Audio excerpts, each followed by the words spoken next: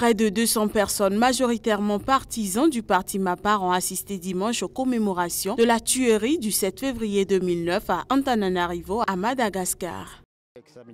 Étant un ex-militaire, je peux dire qu'avant de tirer, les militaires auraient dû faire une sommation, soit prévenir les manifestants qu'ils allaient ouvrir le feu. Ce jour-là, j'étais agent de sécurité. Les gens derrière moi s'écroulaient sous les balles et moi, je m'étais caché sous les cadavres. Une gerbe a été déposée devant le palais d'Amboï Soroïta où la garde présidentielle de Marc Ravalomanana avait tiré sur des manifestants dont le mari de cette dame.